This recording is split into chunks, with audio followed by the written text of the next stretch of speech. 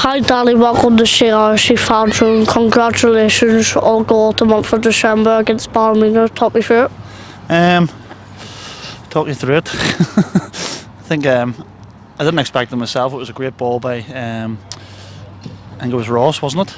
Yeah, and he just pumped it up the pitch. And I'm always told to gamble on as a striker, and I gambled on and was able to finish it from the tight angle. But I didn't think the keeper done too well. you think you should have saved it? Yeah. What were you thinking when the ball came to you from Ross? Um, I had no other thoughts when the ball was going in behind the, the, the fullback. And I just thought to myself, I'm going to run on behind and hope for the ball dropped me and a bit of luck. And uh, took the touch inside and away I went. Opened up and scored. I went mad with all yous.